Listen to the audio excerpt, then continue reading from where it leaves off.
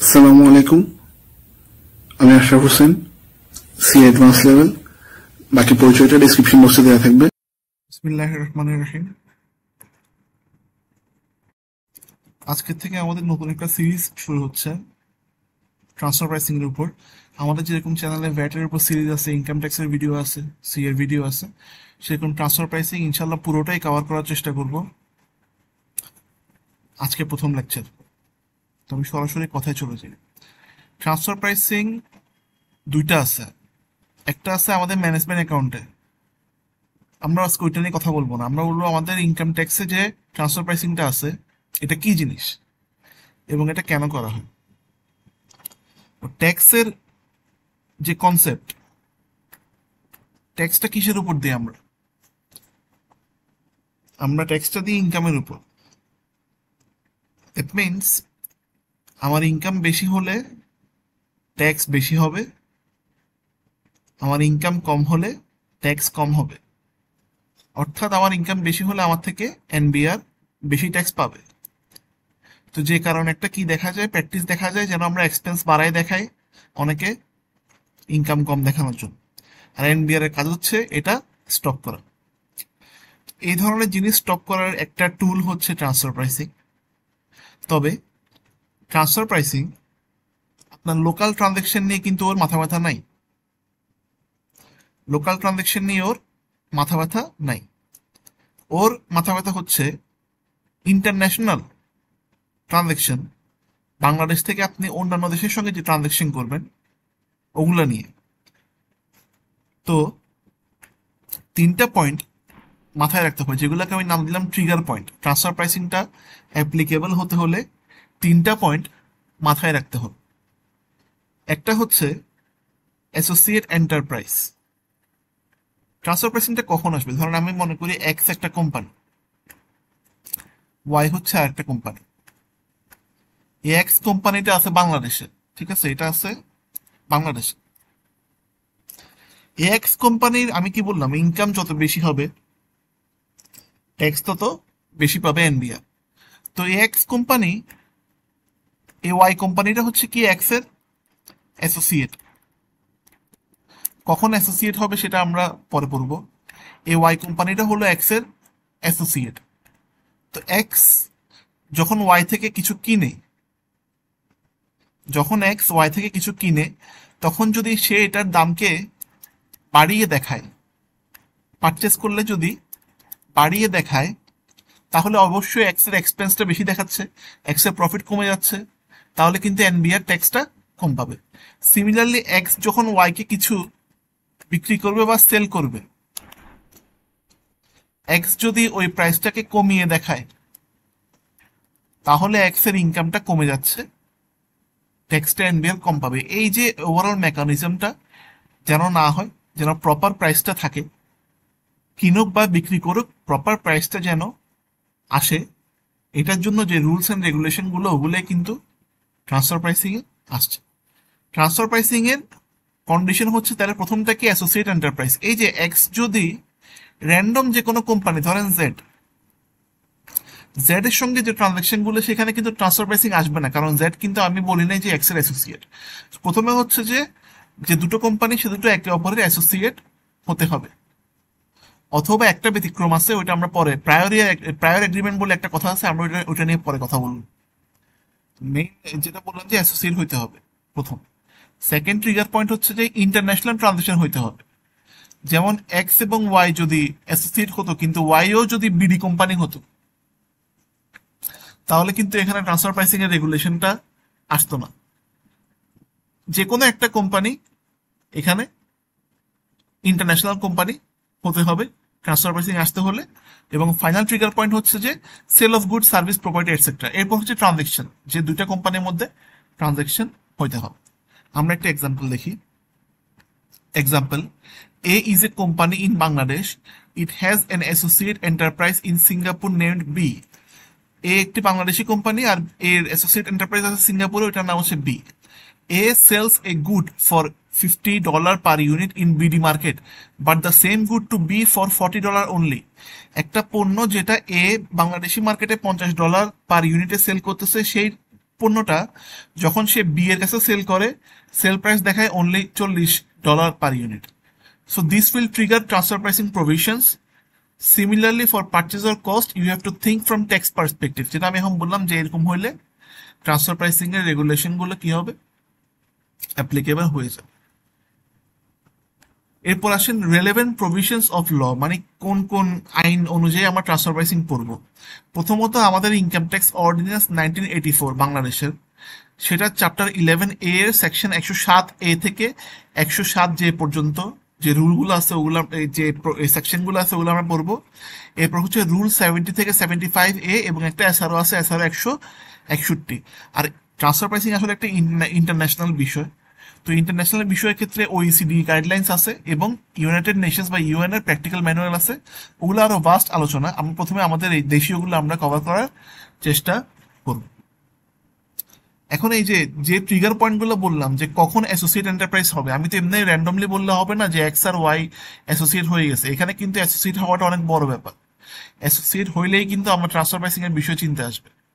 তো এরকম বিভিন্ন ডেফিনেশনগুলো আমরা এখন একটা একটা করে জানব যে কখন অ্যাসোসিয়েট হবে, কখন ইন্টারন্যাশনাল ট্রানজাকশন হবে। এরপর আমরা আস্তে আস্তে ট্রান্সফার প্রাইসিং এর রুলসগুলো জানব, এরপর আমরা ম্যাথ করব। এই ওভারঅল কোর্স প্ল্যানটা হচ্ছে এটা, যে আমরা প্রথমে ডেফিনেশনগুলো জানব, এরপর আমরা রুলসগুলো জানব লাস্টে আমরা ম্যাথ করব ট্রান্সফার প্রাইসিং এর একটা রিটার্ন দেখব, এই। তো ডেফিনেশন আমরা শুরু করি, প্রথমে হচ্ছে আর্ম লেংথ প্রাইস তা আর্ম লেংথ প্রাইস কেন আসতেছে? এই যে আমি যে একটা এক্সাম্পল দিলাম এখানে আমি তো ইজিলি বলে দিলাম যে এ বিডি মার্কেটে পঞ্চাশ ডলারে সেল করে আর ইন্টারন্যাশনাল মার্কেটে বি এর কাছে সেল করছে চল্লিশ ডলারে এখন এই কম্পেয়ারটা করার জন্য কিন্তু একটা arm leg arm length price লাগবে। আমি একটু স্পিডে কথা বলি। স্লোলি কথা বলে বোরিং করতে পছন্দ করি না। আপনাদের যদি আমার কথাবার্তা বেশি স্পিডে মনে হয়, ওই ভিডিও স্পিডটা কমায় দেখলেও হবে। তো যাই হোক এই যে এই কম্পারিজনটা করতে তো আমাদের আর্ম লেং প্রাইস জানতে হবে। তো আর্ম লেং প্রাইসের ডেফিনেশন কি? যে আর্ম লেংথ প্রাইসের ডেফিনেশন যেটা আছে আমার income tax ordinance nineteen eighty four এর section one zero seven A subsection ওয়ানে আছে যে a price in a transaction the conditions price margin etc of which do not differ from the conditions that would have prevailed in a comparable uncontrolled transactions between independent entities carried out under comparable circumstances এখানে আমি এতগুলো star mark কেন দিছি? এই পুরা ডেফিনেশনটা কিন্তু একটা line কিন্তু আমি স্টার মার্ক দিচ্ছি কি? আমি ডেফিনেশনটাকে পার্ট পার্ট পার্ট ভাগ করলাম, বোঝানোর সুবিধার্থে এবং আপনারা পড়ার সময় কিন্তু এভাবে পড়বেন, তাহলে বুঝতে এবং এটা মনে রাখতে সুবিধা হবে। তো আর্মলেং প্রাইসটা কি? A price in a transaction তাহলে প্রথম কথা হলো যে আর্মলেং প্রাইসটা হচ্ছে একটা প্রাইস কোন price the conditions of which যে প্রাইসটার কন্ডিশন প্রাইসের কন্ডিশন কি? প্রাইসের কন্ডিশন হচ্ছে প্রথমে প্রাইসটাই যে মূল্যটা, সেটা হচ্ছে একটা কন্ডিশন দেন প্রাইসের কন্ডিশন হচ্ছে মার্জিন মানে ওই প্রাইসের মধ্যে প্রফিট কত পার্সেন্ট আছে? তাহলে যে প্রাইসটা এবং যে প্রাইসের কন্ডিশনগুলো do not differ from the conditions that would have prevailed ওই প্রাইসের কন্ডিশনগুলো ডিফার করে না, কিসের সাথে ডিফার করে না? In a comparable uncontrolled transaction comparable uncontrolled transaction মানে কি? এখানে দুইটা ওয়ার্ড আছে। একটা ওয়ার্ড হচ্ছে কম্পারেবল আরেকটা ওয়ার্ড হচ্ছে আনকন্ট্রোলড এই দুটার মানে কি? এই দুটার মানে হচ্ছে আমি আবার আমার এক্সাম্পলে চলে যাই। আমি আমার এক্সাম্পলে বলছিলাম যে a sales a good for fifty dollar per unit in BD market তা আমি কিন্তু এ বিডি মার্কেটে যে প্রাইসে সেল করতেছে, সেটার সঙ্গে কম্পেয়ার করলাম কি? এ ইন্টারন্যাশনাল মার্কেটে তার অ্যাসোসিয়েট বি কে যে প্রাইসে সেল করতেছে। তাহলে এই যে কম্পেয়ার করতে হইলে একটা ওয়ার্ড বলে অ্যাপেল টু অ্যাপেল মানে আপনি একটা অ্যাপেলের সঙ্গে একটা অ্যাপেলকে কম্পেয়ার করতে পারবেন রাইট সো দোনোটা পণ্য কিন্তু সেম হতে হবে। এক দোনোটা মার্কেটের সিচুয়েশনগুলা সেম হইতে হবে। যেমন এ বিডি মার্কেটে সেল করতেছে। এখন যদি এমন হয় যে বিডি মার্কেটে কিছু সেল করতে হইলে একে ওই বাজারের নেতাকে কমিশন দিতে হয়। তো এর তো বিডি মার্কেটের পণ্যের দাম এমনি বাড়বে। কিন্তু ইন্টারন্যাশনাল মার্কেটে এরকম কোনো কমিশন নাই। তাহলে ইন্টারন্যাশনাল মার্কেটে ওরকম কমিশন মানে কমিশনের কারণে প্রাইস বাড়বে না। তো এরকম হওয়া যাবে না। দোনোটা মার্কেটের সিচুয়েশনটা সেম হইতে হবে। দুই। আর তিন হচ্ছে যে, কি বললাম আমি আনকন্ট্রোলড মানে দোনোটা ট্রানজেকশন হচ্ছে, কোনো ইনফ্লুয়েন্স ছাড়া, স্বাভাবিক ট্রানজেকশন হচ্ছে। এই যখন বিডি মার্কেটে সেল করতেছে, সেটাও স্বাভাবিক ট্রানজেকশন আর এই যখন ইন্টারন্যাশনাল মার্কেটে সেল করতেছে, ওইটা তো অ্যাসোসিয়েটকে সেল করতেছে। তাই কম্পেয়ার করতে হইলে, প্রথম কথা হচ্ছে কন্ডিশনগুলো সেম থাকতে হবে, পণ্যটা সেম থাকতে হবে, এবং যার সঙ্গে কম্পেয়ার করতেছি, সেটা হচ্ছে কোনো ইনফ্লুয়েন্স ফ্রি হইতে হবে। তাইলেই আমি কম্পেয়ার করতে পারব, এবং যে প্রাইসটার সঙ্গে কম্পেয়ার করব সেটা হবে আর্মলেং প্রাইস অর্থাৎ আমার এখানে আর্মলেং প্রাইস এ যেটা বিডি মার্কেটে সেল করতেছে পঞ্চাশ ডলার তখনই হবে যখন প্রথম কথা বিডি মার্কেটে সেম পণ্য সেল করতেছে। যেটা বি এর কাছে সেল করতেছে ইন্টারন্যাশনাল মার্কেটে সেই সেম পণ্যটা বিডি মার্কেটেও কিন্তু এ সেল করতেছে। এটা হইতে হবে এক। দুই হচ্ছে বিডি মার্কেটের কন্ডিশন ইন্টারমিডিয়ারি মার্কেট ইন্টারমিডিয়ারি বলে। মার্কেট ইন্টারমিডিয়ারি গুলা ইন্টারন্যাশনাল মার্কেটের মতোই। বি এবং সি হচ্ছে এই যে বিডি মার্কেটে সেল করতেছে, এটা একটা আনকন্ট্রোল আনইনফ্লুয়েসড মানে কোনো ইনফ্লুয়েন্স ছাড়া স্বাভাবিক একটা ট্রানজেকশন তখনই আমি এই প্রাইসটাকে কি আর্ম লেন্থ হিসেবে নিতে পারব? এবং এটার সঙ্গে কম্পেয়ার করে করে আমি ওই ট্রান্সফার প্রাইসিং এর কাজগুলো করতে পারব। তাহলে এইগুলো আমাদের আর্ম লেন্থ প্রাইসের ডেফিনেশন এরপর আসেন কি অ্যাসোসিয়েট এন্টারপ্রাইসের ডেফিনেশন যে কখন অ্যাসোসিয়েট এন্টারপ্রাইজ হবে। যেটা খুবই ইম্পর্টেন্ট কারণ অ্যাসোসিয়েট এন্টারপ্রাইজ না হলে ওই যে তিনটা ট্রিগার পয়েন্টের একটা কিন্তু অ্যাসোসিয়েট এন্টারপ্রাইজ তাহলে কি কি কন্ডিশন হলে অ্যাসোসিয়েট এন্টারপ্রাইজ হবে সেটা নিয়ে আসলে আমরা কথা বলি। তো অ্যাসোসিয়েট এন্টারপ্রাইজ যেটা আছে section one zero seven A subsection টুতে অ্যান এন্টারপ্রাইজ অর পার্সন এটা একটা এন্টারপ্রাইজও হইতে পারে অথবা একটা পার্সনও হইতে পারে, আমরা ধরে নিলাম এটা হচ্ছে এ ঠিক আছে? An enterprise or person A which in an income year has the following relations with other enterprise or person B. তাহলে আমরা এখানে কি নিয়ে কথা বলতেছি? আমরা এখানে এ এবং বি নিয়ে কথা বলতেছি। নতুন। এগুলো আগের আগের এক্সাম্পলের সঙ্গে মিলাবেন না। নতুন করে আমরা ধরলাম এ এবং বি এ হচ্ছে একটা এন্টারপ্রাইজ অথবা পার্সন বি হচ্ছে আরেকটা এন্টারপ্রাইজ অথবা পার্সন এবং তাদের মধ্যে একটা রিলেশন থাকতে হবে। কি রিলেশন থাকতে হবে আমরা এখন পড়ব? ওই রিলেশনগুলো থাকলে এ এবং বি একে অপরের অ্যাসোসিয়েট হবে।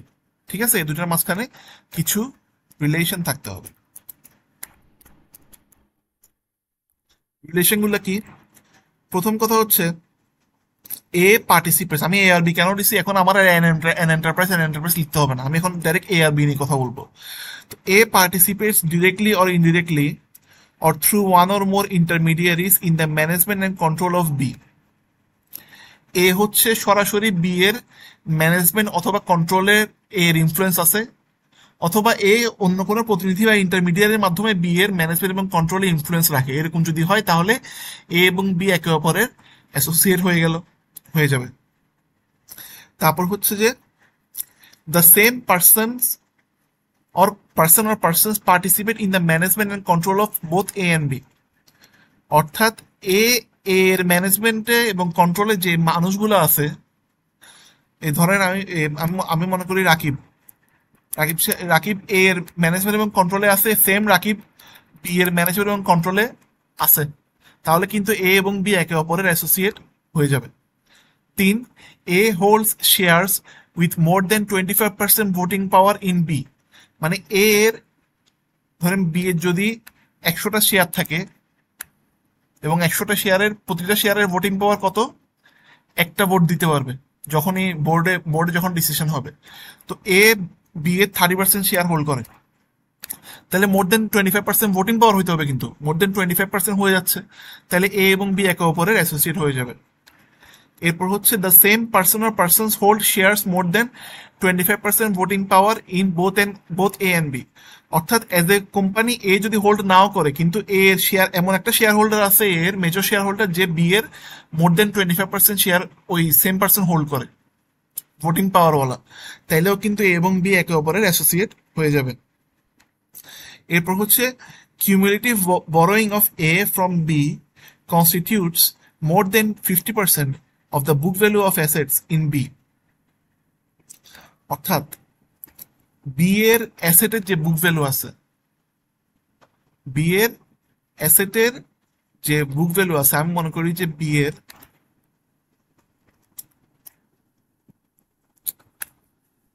বি এর টোটাল অ্যাসেট হচ্ছে একশো টাকা। জাস্ট ফর এক্সাম্পল একশো টাকা।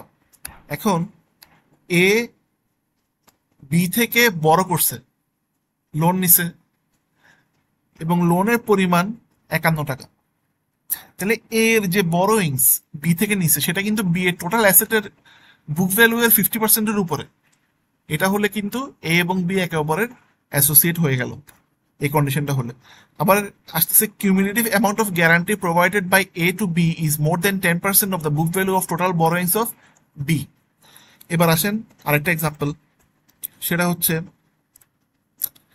অ্যাসেট বাদ দেন এবার। বি এর টোটাল লোন একশো টাকা। এর সঙ্গে কোনো সম্পর্ক নাই এই লোনের লোন বি নিচে ধরেন সি থেকে। ঠিক আছে? বা এ থেকেও নিতে পারে। মানে বাইরের থেকেও নিতে পারে এ থেকেও নিতে পারে সি থেকেও নিতে পারে। এটা সমস্যা সমস্যা নেই। এ বি কে গ্যারান্টি দিয়ে রাখছে। মানে বি এর যদি কখনো কোনো সমস্যা হয় এই একটা গ্যারান্টি এর সঙ্গে বি এর একটা গ্যারান্টি সম্পর্ক আছে। সেই গ্যারান্টি কত? এগারো টাকা। তাহলে এটা কিন্তু ওই বি এর টোটাল বড়োইংস এর টেন পার্সেন্টের বেশি হয়ে যাচ্ছে। তখনও কিন্তু এ এবং বি একে অপরের অ্যাসোসিয়েট হয়ে যাবে। এরপর more than 50% of the BOD মানে board of directors or members of the governing board of A are appointed by B অথবা মানে এ এর যে বোর্ড অফ ডিরেক্টরস এর আছে বা গভর্নিং বডি যারা মেম্বার আছে more than fifty percent B appoint করে। অথবা বি এর যে বোর্ড অফ ডিরেক্টর আছে বা গভর্নিং বডি আছে, তার more than fifty percent A appoint করে। যে কোনো একটা হলে এবং বি একে অপরের অ্যাসোসিয়েট হয়ে যাবে। Any executive director or executive member of the governing board of A is appointed or is in common with B.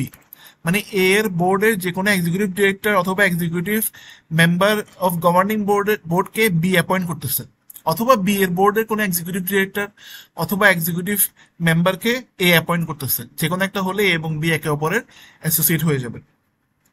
Same person or persons appoint more than 50% of the board of director of both A and B যে A এবং B এর board of ডিরেক্টরে more than fifty percent member একই person মানে employ করে। যেমন আবারও আমি রাকিব সাহেবের কাছে যাচ্ছি, যে রাকিব সাহেব, এ যে টোটাল বোর্ড অফ ডিরেক্টর আছে, তার more than fifty percent appoint করে, আবার বি এরটা উনিই করে।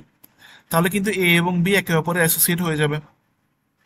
Same person or persons appoint any executive director in both A and B যে একই পার্সন এ এবং বি উভয়ে এক্সিকিউটিভ ডিরেক্টরদেরকে কি এমপ্লয় করে একই পার্সন মানে ওই রাকিব সাহেব এতেও এক্সিকিউটিভ ডিরেক্টর কে হবে, রাকিব সাহেব ঠিক করে? বিতে কে হবে সেটাও রাকিব সাহেব ঠিক করে। এরকম হলে হয়ে যাবে। A has practical ability to control decisions of B যে এর প্র্যাকটিক্যাল অ্যাবিলিটি আছে বি এর ডিসিশন মেকিং কে কন্ট্রোল করার। অথবা ভাইস ভার্সা এখানে কিন্তু আমার ভাইস ভার্সা দেওয়া হচ্ছিল সবগুলোর সঙ্গে। এগুলো সবগুলোই ভাইস ভার্সা যে সেম সিমিলারলি বি যদি এর ডিসিশন মেকিং কে কন্ট্রোল করতে পারে, সেটাও হবে। অ্যান্ড লাস্ট এটা হচ্ছে A and B both are bonded by such mutual interest as may be prescribed অথবা লাস্টেরটা হচ্ছে এ এবং বি এর মধ্যে এমন কোনো মিউচুয়াল ইন্টারেস্ট আছে যেটা বোর্ড এটাকে বলতেছে যে এই ধরনের মিউচুয়াল ইন্টারেস্ট থাকলে আপনারা অ্যাসোসিয়েট হয়ে গেছে। তো এই কন্ডিশনগুলো ফুলফিল করলে অ্যাসোসিয়েট এন্টারপ্রাইজ হয়ে যায়। আজকের ক্লাস একটু নেক্সট ক্লাসে আমরা অন্যান্য ডেফিনেশনগুলো পড়ব এবং আস্তে আস্তে আমরা আরও ফার্দার আগাবো। যদি ভিডিও ভালো লাগে তাহলে শেয়ার করে দিয়েন সাবস্ক্রাইব করিয়েন চ্যানেলটা আর আমার ফেসবুক পেজের লিঙ্কটাও দেওয়া থাকব এটা কাইন্ডলি ফলো করে দিন থ্যাংক ইউ